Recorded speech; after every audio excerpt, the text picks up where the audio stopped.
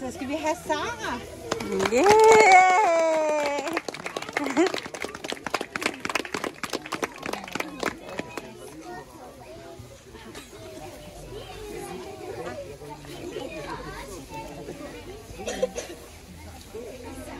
Yeah!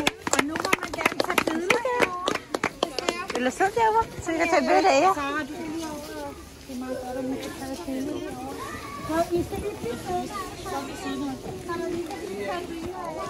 Lise, lige du står men mens vi er nogenlunde sammen, og de lige bliver sat her, så kan tage jer også forældre. Jeg kommer rundt på en del af ugerne, jeg har været flere børn, der er børn, der skal sige farvel. Og jeg har bare hørt de sidste 14 dage i de andre institutioner. Hey, de har skændtes og slås og råbt og skrevet og glædet sig. Og så har de ikke været her. De har simpelthen været så følsomme og kede af det. Og vi må ikke se hinanden mere, og vi glæder os. Og nej,